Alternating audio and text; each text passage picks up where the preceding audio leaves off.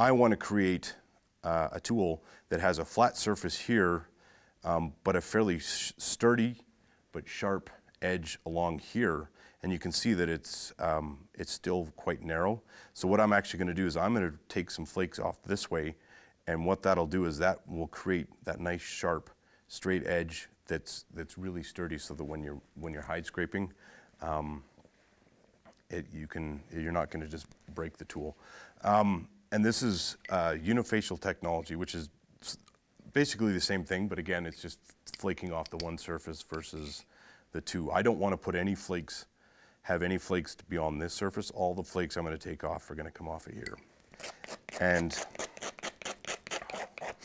again, instead of pushing in, I'm, I'm following the surface, this surface here, so I'm actually going to push down this direction versus this way here. And I'm not actually gonna try and drive flakes all the way along.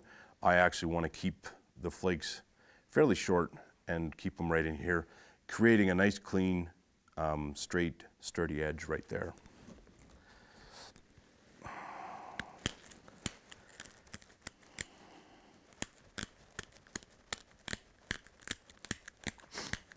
It allows you clean the edge and make it as straight and sharp as possible.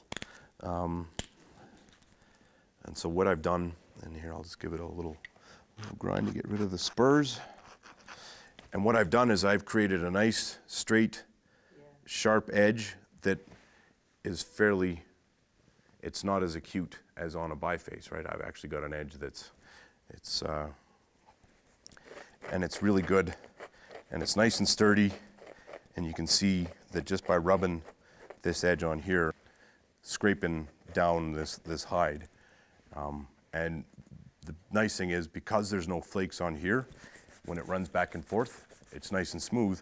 So only the only thing that's cutting is actually this edge so that allows you the, the control you need to actually prepare prepare this hide